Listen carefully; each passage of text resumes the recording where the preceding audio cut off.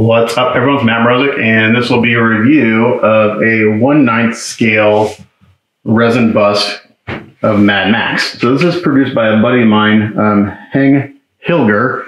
Um, I did his uh, um, prototypes last year of the Danger Girls, the 1 6 scale pieces, which I think he still may have some of. So I'm going to put a link down to his Facebook profile.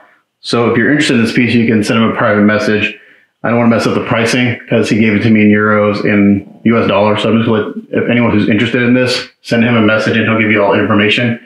He has it in several scales. He has it on one sixth scale, one ninth, which is this, and then one twenty fifth or 75 millimeter. So he's got three scales. So he sent me the one ninth to review and it's very nicely done. He uses ownage, so the factory's ownage that he uses. So the quality is super high. Send you a nice little uh, metallic kind of print of the part and kind of how it goes together. And a little description here, 11 pieces, some assembly, assembly required, parts list. Uh, this is number 18 of 49. You can't see it because of the, the shine, 18 of 49. And it's been like uh, stamped with his logo, which is really nice. So uh, let's take a look at this. I, unpacked it last night and it's, it's done very well. First of all, the likeness of um, Mel, Gibson, uh, Mel Gibson is damn near spot on. Looks really, really good. Um, I don't know the sculptor's name. I don't think he has it on here. No, I don't know the sculptor's name. I'll, I would tell you. So, um, unless it's on the bottom. Nope. So sculpt is nice, really nicely done. And of course, Ownage does some of the best, if not the best, uh, 3D printing and casting. So the casting is really sharp. Um, this guy's leather jacket reproduced very nicely. The belt looks great, a lot of detail. There's no cleanup, you know, give it a wash and then you're ready to go. There is some seam work you'll have to do to uh, get this to look right, but nothing major. So there's the bust, and I think you can tell that the likeness is pretty damn, pretty damn spot on. So whoever did the sculpt did a really good job. And one nice scale. So it's a nice scale. You know, I'm a larger scale figure guy, so I would personally do a one six scale or one quarter, but this is nice. I do have a couple uh, one tenth busts from Nuts Planet, so this is just right about that same scale. Um, so for his arms, they're casted individually. So his left arm is holding his shotgun. And this is done really nicely too. And it's crazy how thin Ownage is able to print and cast the barrels hollow. So the barrels are hollow, which is pretty impressive.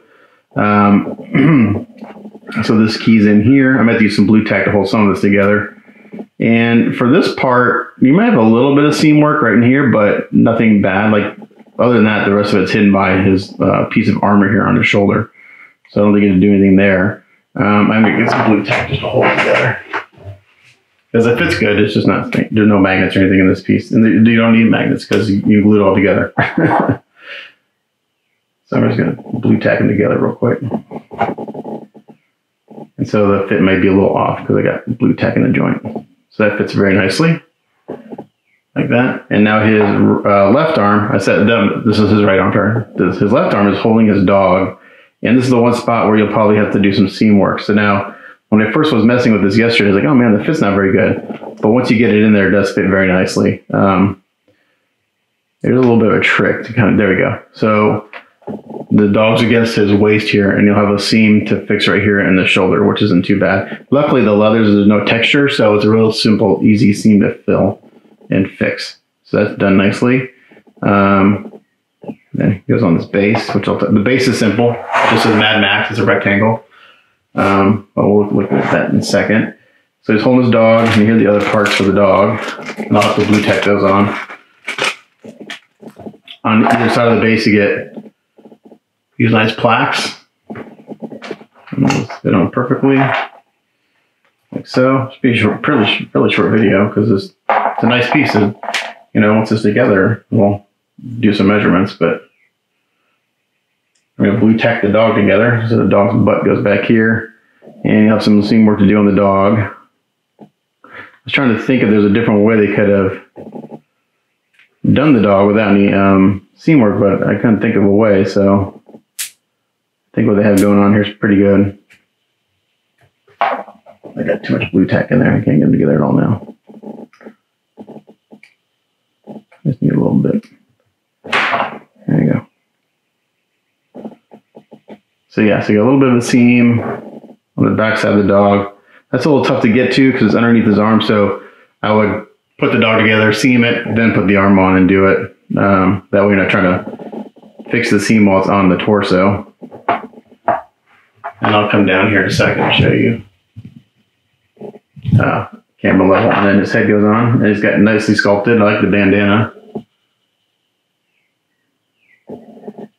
And there you you don't have a seam because the bandana it creates a natural seam, so you don't have to worry about that. So there's only really two seams: the arm and the backside of the dog. It's pretty good. Not too bad. And then he's got um, some tiny little pieces here. He's got um, a pistol. Where's that going to go? I gotta look at the picture. I don't know. I haven't tried putting this together until really until just now. Oh, that goes in his belt. There's a nice little key down there. It's really small, but it, oh, it fits perfectly. That's really nice how that works. Come down. Ow. Pinch myself. Nothing but nothing but the best camera work as usual.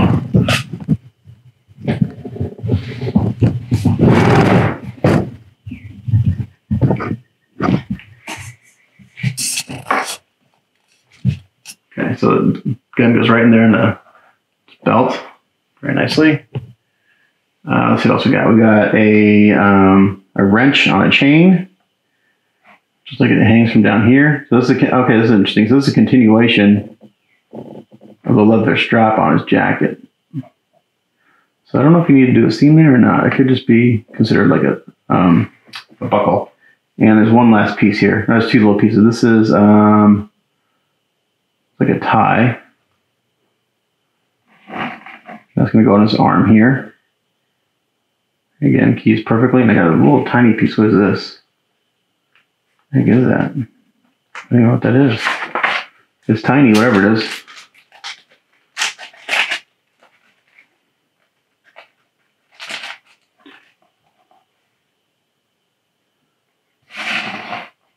Where's that go?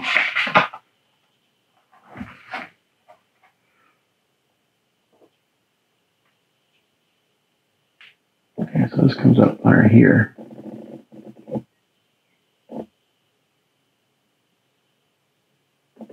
There's a little key there. It may not stay. There we go. I'm not sure what that is. We'll put it on. So there you go. There's the one ninth version of this Mad Max bus uh, produced by Heng Hilger. Again, I don't know who the sculptor is. It's not on the information sheet. Great little piece, though. Um, no, there's no cleanup on the casting. The only work you have to do before painting is, again, you got to seam the dog's rear end, which I would do that first, and then put the arm on and seam that. Um, that fits perfectly, so like his the his paw rests perfectly right on the base. It's there's no gap or anything. Um, but yeah, you know, it's done by owner, so great job. Uh, quick measurements for the one nine scale piece of the base width is right at um, right at five inches. The depth is right at three inches, so three by five for the depth, and then your height is going to be right at base and all, uh, right about four inches. So it's a good size piece, even though it's ninth scale. Um, I think it's a great piece. I, my one crit, um, and I was looking at this yesterday, maybe the base could be a little bit smaller. Um, other than that, I just think the base is maybe a little too wide. Maybe I was shrunking it in maybe 20%. Other than that, I think it looks great. Um, the quality's 100% there. Ownage sculpt is really nice. The likeness of Mel Gibson's is spot on. And all these little details like the gun in the belt, this little wrench hanging off his jacket, and whatever the hell this is, I don't know.